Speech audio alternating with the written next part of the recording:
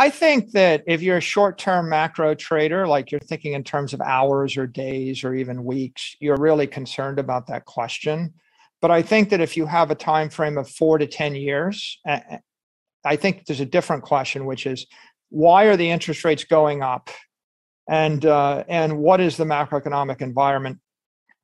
And I would say I would say you probably shouldn't even buy Bitcoin if your uh, if your time horizon is less than four years because you're a trader. And if you're a trader, you're probably not going to care about anything that I have to say. You're just looking uh, at, at, at, whether it's correlated or uncorrelated and, and throwing lots of money around without thinking about it. As Bitcoin is teetering on the precipice of an abyss, according to some crypto market analysts, its price hitting its lowest level since July 2021. The cryptocurrency has lost more than 50% of its value over the last six months amid a market-wide downturn that has wiped more than $1.5 trillion from the overall crypto market.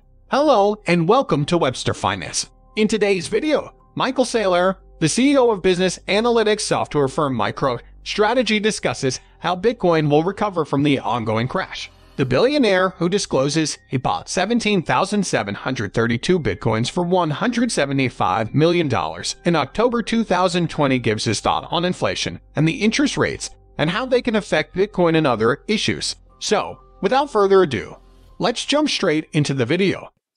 I think if you're really a deep thinker or a macroeconomic investor, the bigger issue is we have monetary inflation.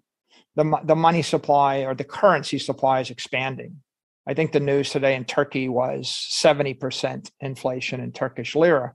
We probably got something in the range of 15 to 20% currency inflation in the US dollar and the euro. We've got 40% inflation in like an Argentine peso or more. So what you have is an inflationary environment. We know the CPI, which is which is a which is a uh, uh, manipulated measure of inflation. It's actually the lowest inflation that one could reasonably measure. I think uh, it's like seven and a half percent, six and a half, seven, eight percent in the U.S. and Europe, and these are forty-year highs. So the CPI is 8%, but the, but the actual asset inflation rate is double to triple that. So the reason that interest rates are going up is because there's pressure on the central banks to get inflation under control. And, and their one tool to do it is raise interest rates. But they're not going to stop the inflation because the inflation is caused by excessive money printing, budget deficits, and the wars and political policies, domestic and foreign policies, and these policies continue. So, given the fact that we have uh, an expansive currency environment, and what you can see is the price of, of food and energy and scarce resources keeps going up, the question really is if I have some money, what should I invest in? And the answer is you don't want to hold currency because the currency is collapsing in value. You know, the, the US dollar's lost 99.7% of its value over 90 years. I mean, and that's the winner. The losers are, are losing 99.9% of their value over 100 years. So the currencies are all collapsing. So I, I don't want to hold the currency. I don't want to hold bonds because bonds are currency derivatives you know you know i'm going to basically you're going to give me a million dollars and i'm going to give you interest on the million dollars at 3% for 30 years and i'll give you the million dollars back. And in 30 years the dollars will buy 10% of what they buy right now. So that's even worse.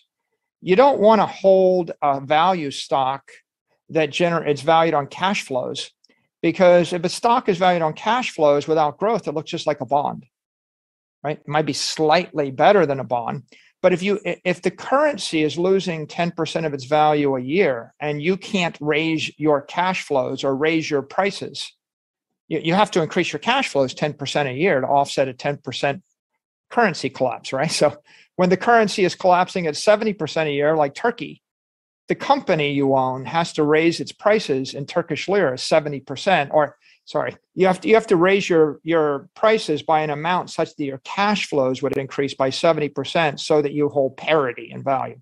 So equities are currency derivatives partial currency derivatives. Bonds are almost complete currency derivatives.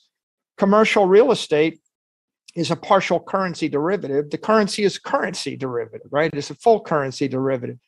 So what do i own? And the answer is i want to own scarce property scarce desirable property. What is it that you own that an affluent, intelligent person will want to buy from you in a decade?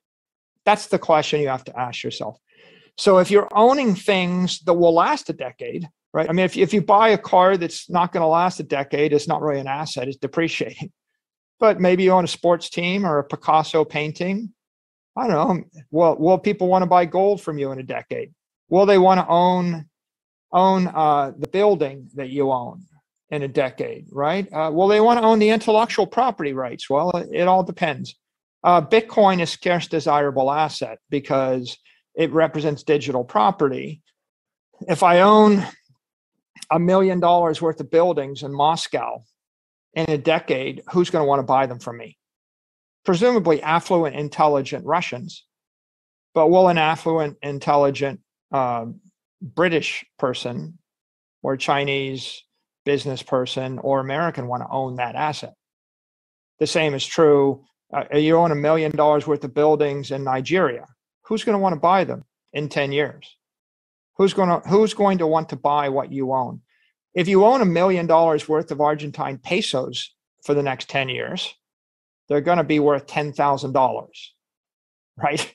So you're not going to want to own that, but owning a million dollars worth of buildings in Buenos Aires is only going to appeal to someone that wants to live and work or use that real estate in Buenos Aires, and you're going to pay the tax and the maintenance cost in between now and then. So interest rates are going up because there's macroeconomic headwinds blowing. The real problem is inflation. If inflation's running 20% and the interest rates uh, go to 2%, they're not going to stop the problem of currency collapse. They're just going to create uh, a near term turbulence. And if you're a trader, you may get caught in that turbulence. But ultimately, um, if you're an investor and you're concerned about preserving your wealth to give to your children or your grandchildren, then uh, whenever you're in an inflationary environment, your your strategy is simple. I have to convert my weak currency into a strong currency. Ideally, convert my weak property into strong property. And that strong property, I want to move out of the country. I want to move it out of the jurisdiction of a politician that may confiscate it or tax it away.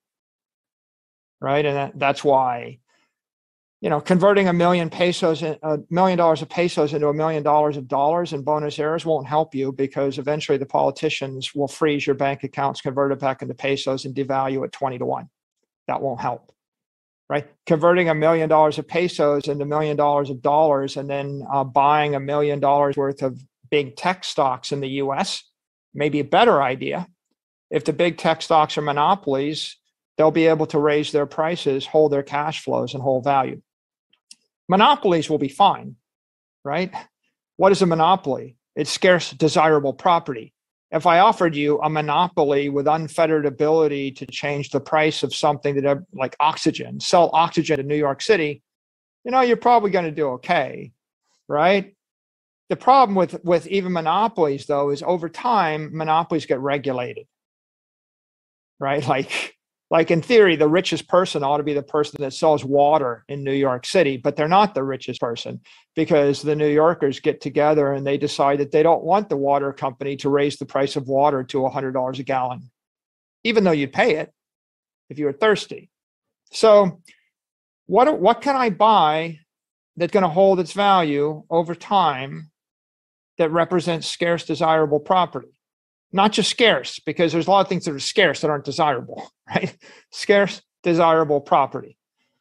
And uh, I think one of the obvious things is digital property, right? If I created a city in cyberspace with 21 million blocks and nobody could make any more, and it was going to last for a thousand years, and it was the dominant city and everyone wanted to live there, would you want to own one of those blocks?